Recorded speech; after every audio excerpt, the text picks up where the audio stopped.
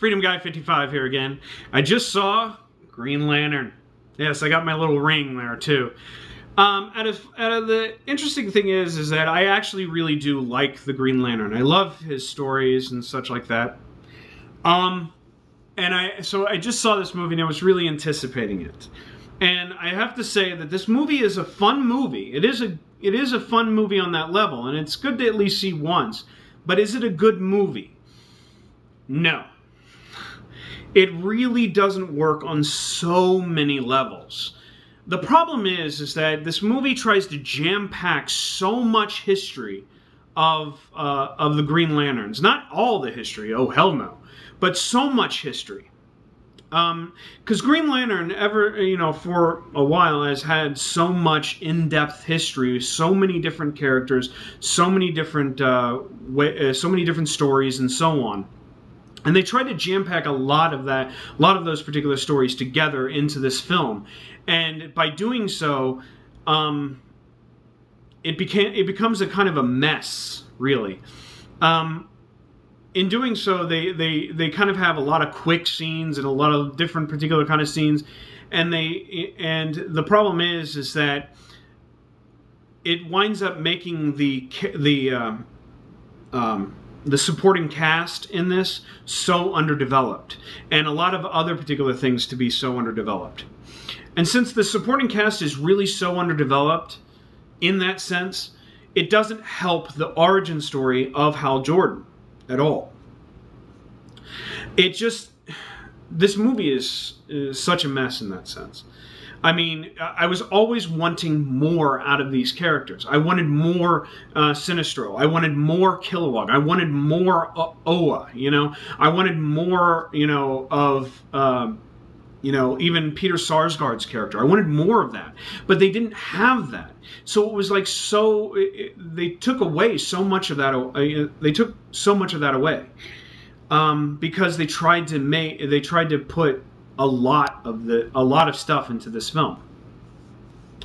But I will have to give props to this film. Really, very excellent um, special effects. Very excellent. The special effects are just really so good in this film. I just love them.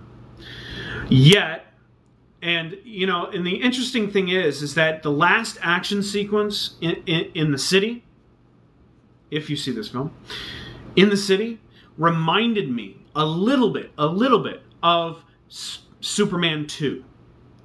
I was like, oh, wow, this is getting good. And then they ended it.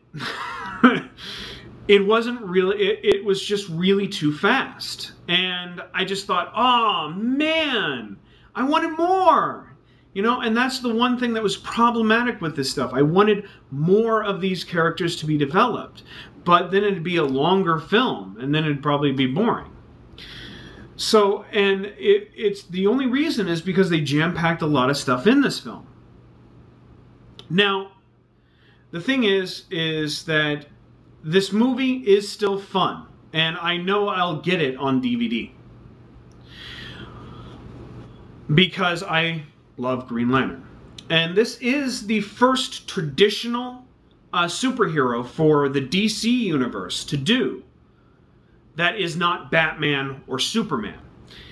And I really do, I really, really do want a sequel. I really do want a sequel, and I want to see if they could really do it better. So, as much as anything else, it's not a bad film. Uh, well, actually, it's not a really good film, but it's not a bad film either. So it kind of falls into that kind of fair category, you know. So in a sense, you know, you would kind of give it like two two stars or two and a half stars, you know, somewhat getting to a somewhat of a good movie or could have been a good movie, but it just falls so so flat in that sense. I also thought that Ryan Ryan Reynolds didn't really have much of a commanding force as Hal Jordan. Doesn't mean that he wasn't good as Hal Jordan. It's just I think the dialogue in it just made him look like really sappy when he wasn't the Green Lantern. When he when he became the Green Lantern, he was this kind of confident and you know really kind of you know demanding force. I mean, he had this kind of you know powerful force about himself. But when he was Hal Jordan, it just became too sappy, too sad, too you know. It just he didn't have he didn't have that kind of you know. I mean, it was just that. But also, I found that it, it was just too wisecracking as well. Too much wisecracking in this stuff. I mean, that's not Hal Jordan. That's not what I expect Hal Jordan to be. But that's me. But anyway, all in all, it is a good movie to see once in the theater. And if you are a Green Lantern fan, I do I do recommend to get it on DVD because I believe that there will be other films to come out of this, and hopefully better ones. But anyway, that's my opinion about the subject, and uh, I thank you for your time, and have a nice day.